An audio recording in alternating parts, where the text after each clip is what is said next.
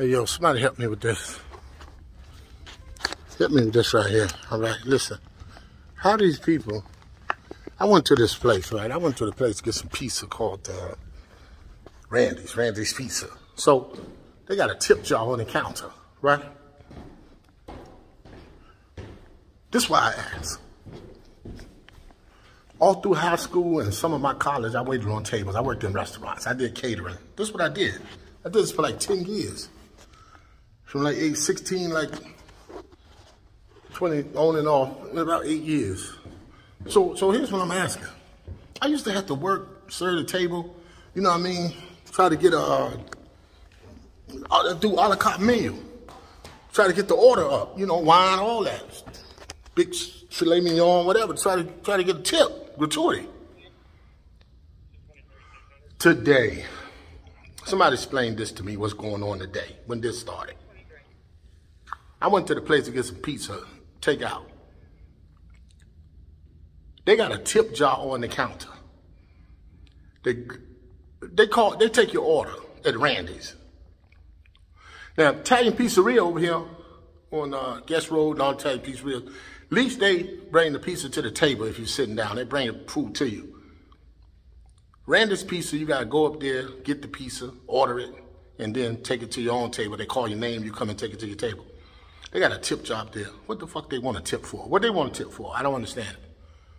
They just standing there taking an order. And then the attitude. Okay, I gotta consider, I gotta add, I gotta add this on to that video. My phone started ringing and the video cut off. But they, I'm tired of it. I went online to get some health insurance information.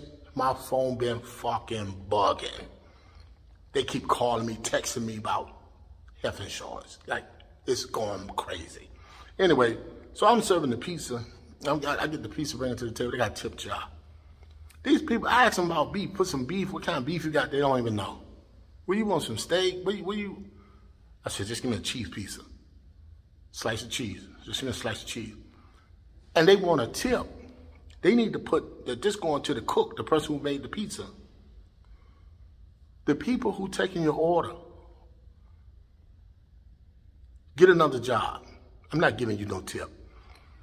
Buffalo Wild Wings, now I looked at the ticket because I joined the rewards.